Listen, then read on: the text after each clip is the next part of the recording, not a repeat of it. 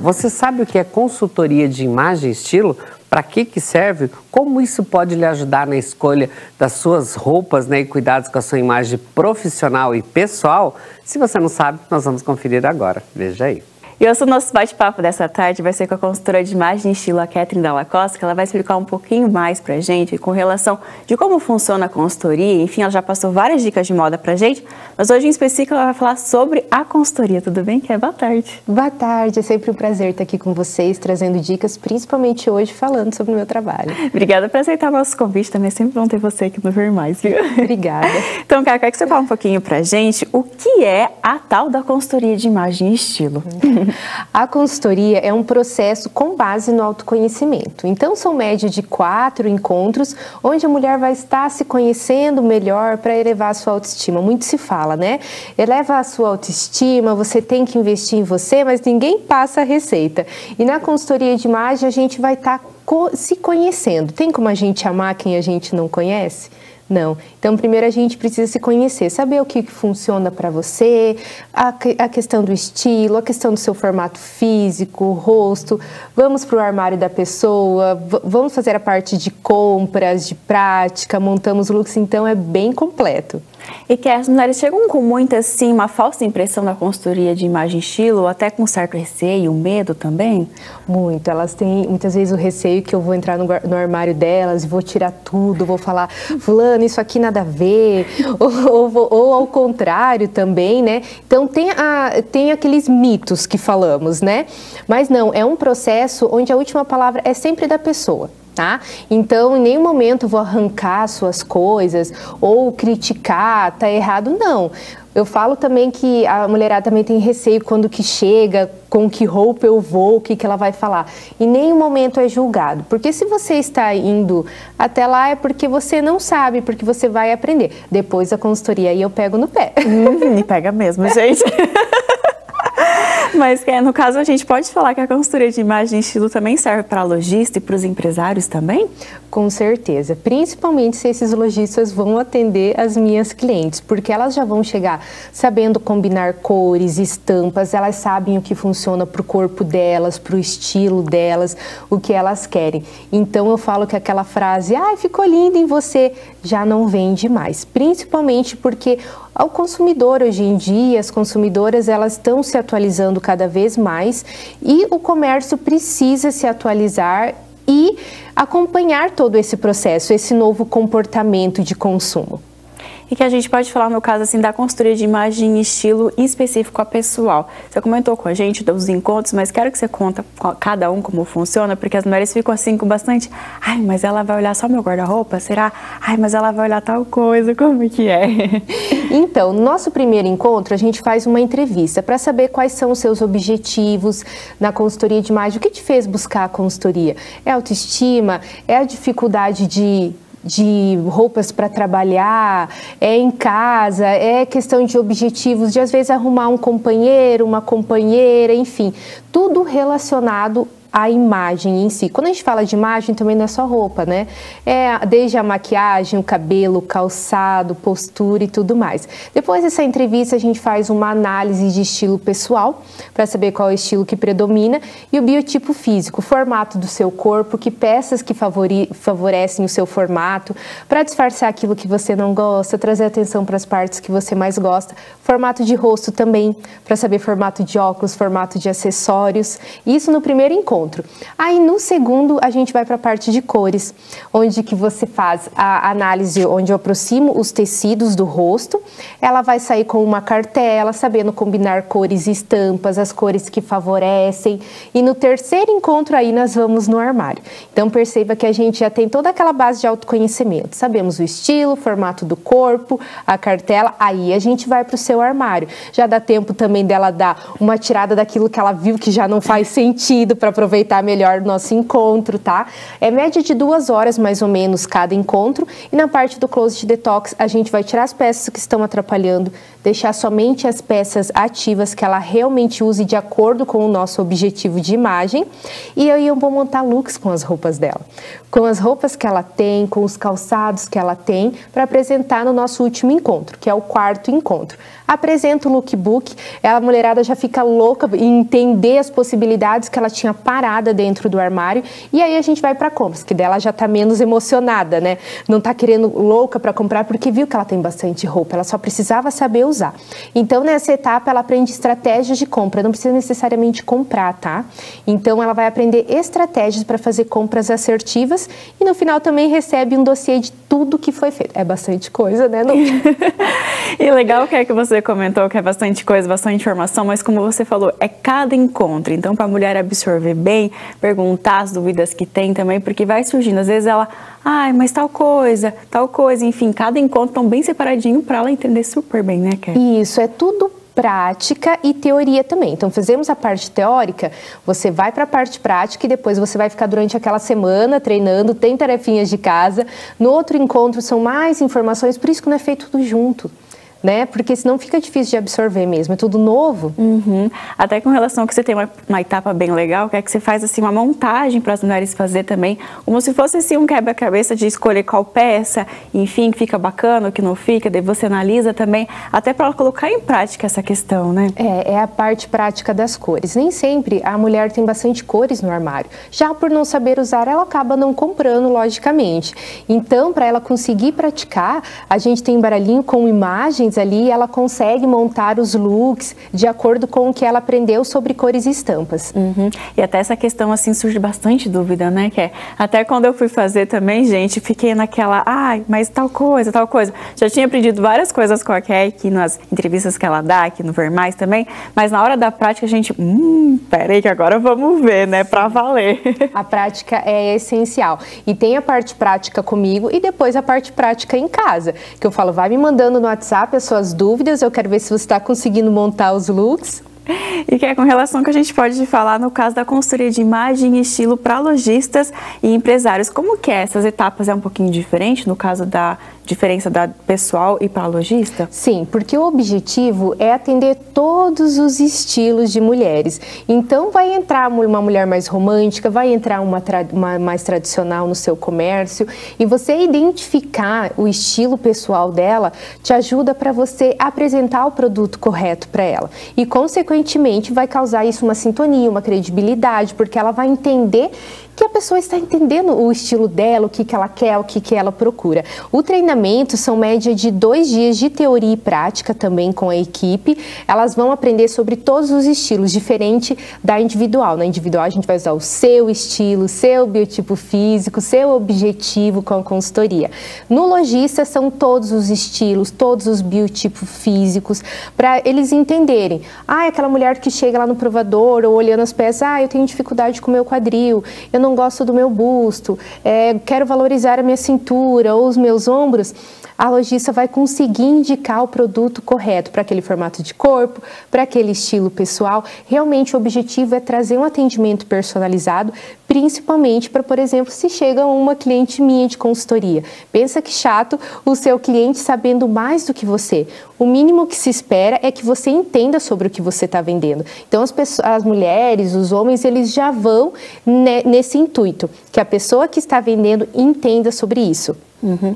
E que, é que a gente pode falar assim, quando as mulheres chegam lá para fazer a consultoria, quais são as maiores dificuldades que você percebe? Essa questão das cores, sair do preto também, que às vezes todo mundo acha que o preto é neutro, que o preto é coringa. Depois que eu fiz a consultoria, aprendi que não é não, né? Muitas vêm com medo, principalmente da parte da coloração, de ah, ela vai tirar o preto. Gente, eu já falei, é super confortável, em nenhum momento é para te deixar triste ou desconfortável, tá? Mas você aprender a usar o preto com sabedoria e não ficar refém do preto, não ficar só no preto. Você vai poder usar o preto, mas você também vai aprender a usar outras cores, conhecer outras cores que favorecem seu tom de pele, questão também do cabelo, enfim, você sabe que é toda a parte de, de que envolva cores que você coloca no corpo é nessa parte de coloração. Então elas têm esse receio de que eu vou tirar o preto. Não, mas você vai aprender e não vai mais ficar refém do preto. Outro medo comum é o que eu comentei delas acharem que eu vou querer retirar todas as roupas delas, ou receio, o que, que ela vai achar das minhas roupas. Querendo ou não, nosso armário é algo muito íntimo, né?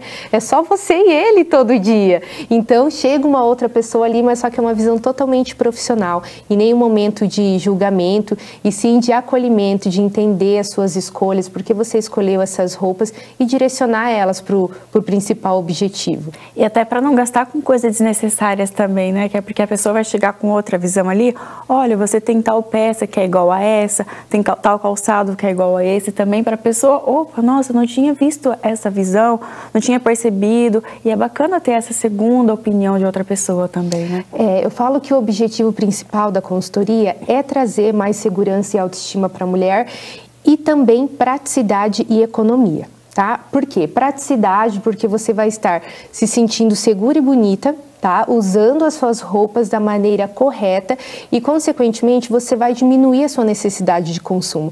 Porque muitas vezes a mulherada não precisa comprar roupa nova. Eu falo mulherada que normalmente elas têm um hábito maior de consumo do que os homens, né? Eu falo que a gente gira a economia mesmo, né? Então, é, você não precisa normalmente assim comprar, comprar roupa, mas usar de uma forma diferente, aprender a usar o que você tem. Porque aí acontece, você vai comprando, você vai comprando, fica aquele guarda guarda-roupa cheio e você continua sem roupa porque você não aprendeu a usar, tá? Então aprender a usar as roupas é essencial, de verdade. E eu falo que é ensinamento para o resto da vida, né? Porque o resto da vida você vai estar tá usando roupas, você precisa usar roupas, não é só para tampar o corpo, e sim para comunicar algo para as pessoas, para você mesmo se sentir segura ou não, e legal isso também, que é que você comentou, porque a mulher vai começar a olhar o guarda-roupa com outra visão.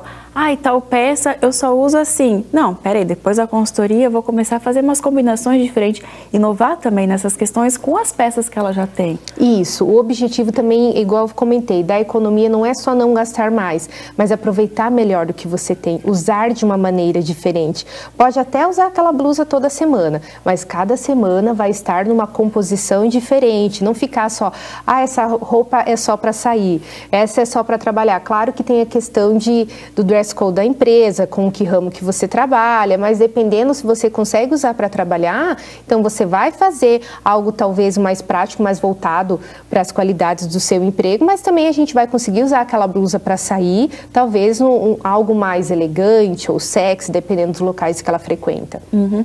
E que é no caso do teste de coloração. Quero que você conte um pouquinho para gente como que é esse teste, como que funciona, como que ele deve ser feito também, porque a mulherada assim já chega com certeza querendo já logo o teste, né? Sim, elas ficam muito ansiosas em relação às cores, sabe? E é o segundo encontro, e elas já querem fazer o primeiro e o segundo juntos, porque elas querem saber das cores. Realmente é algo assim muito muito louco, eu falo assim, né? Porque é algo diferente. Aproximar os tecidos do rosto faz toda a diferença porque ela consegue ver as cores que favorecem ela, as cores que não favorecem, ela também aprende quais estampas que favorecem favorece. Então ela fica louca para saber se as, se as cores que favorecem já estão dentro do armário. E também não vai precisar tirar tudo aquilo que você tem no armário que não é da sua cartela. Eu ensino você a usar de uma forma estratégica para não te desfavorecer. E as próximas compras você vai usando dentro da sua cartela. Então nessa etapa eu aproximo os tecidos, ela recebe uma cartela. Nessa cartela tem as cores que favorecem ela e também não só cores de roupa, mas para acessórios, para maquiagem, para cabelo, tem as mechinhas de cabelo lá onde a gente já faz o teste lá no escritório mesmo, aproxima, então ela vai sair realmente completa tudo que envolva cores. Uhum. E no caso depois ela recebe uma cartela também para daí nas compras ela ir mais assertiva também. Isso, ela já sai com aquela cartela, então ela vai aproximar quando for comprar maquiagem, que é algo que tem um valor agregado e que é tão triste quando a gente compra errado e fica lá parado que você não consegue usar, né? Então já vem com cor de blush, de sombra, de base, de batom, cor de cabelo também, cor de acessórios, dourado, prata e também um leque de opções. Outra dúvida que a mulherada tem em relação à coloração é a questão: e se a cor que eu gosto não estiver na minha cartela? Gente, vai estar, tá? A questão é que muda a tonalidade. A Núbia já fez a coloração, então você sabe.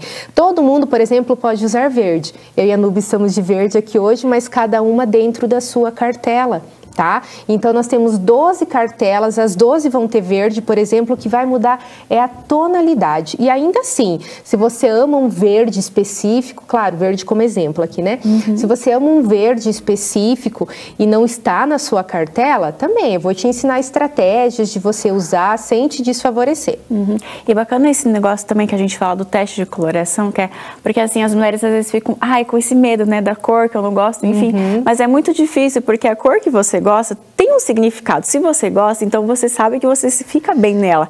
E aquelas cores que você, ai, por exemplo, eu já não gosto muito do laranja, enfim. E no teste foi comprovado isso, que não me favorece, enfim. Então já tem essa separação, às vezes, esse olhar Sim. que você já tem, mas não muito técnico, que você fica, hum, por que será, né? Isso mesmo, tem grandes chances da cor que você gosta estar, porque o nosso olho ele tende a identificar, mesmo sem entender de uma forma técnica, o que nos favorece. As roupas que você escolheu que está dentro do seu armário.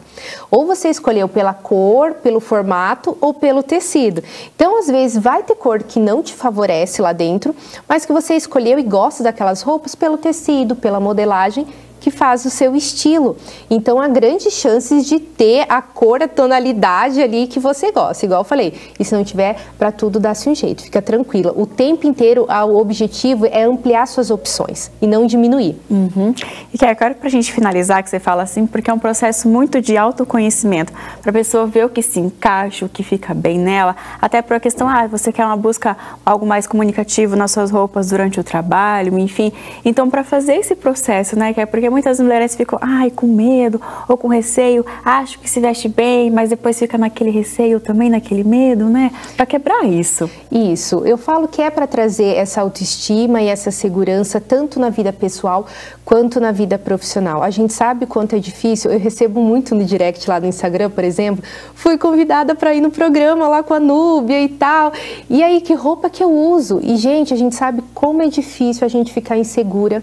Como já é algo novo novo, por exemplo, você vai na TV, ou um convite especial, enfim, alguma coisa que é especial, que você precisa estar bem vestido e você não saber o que você vai vestir ou ir de uma forma insegura, trazendo mais insegurança ainda àquela experiência. Então eu falo que não tem preço você estar se sentindo segura primeiramente para você, para você se sentir segura, tanto profissionalmente quanto na vida pessoal, e depois para transmitir, consequentemente, essa segurança para quem está te vendo, seja para o cliente ou para as pessoas, enfim. Então, quero te agradecer por essas dicas, obrigada, viu? Quero que você faça o convite para as mulheres ficarem um pouquinho de dúvida, enfim, estão com dúvida na questão de combinação de cores, enfim, o que for relacionado à moda, para te mandar uma mensagem lá no direct. Muito obrigada pelo convite. Quem tiver interesse em seguir mais as minhas dicas ou saber mais do meu trabalho, pode estar acessando o meu Instagram, é o arroba Lacosta, e sempre que tiver alguma dúvida, pode me chamar lá e vamos trazer segurança e autoestima para essa mulherada. Quer obrigada novamente por essa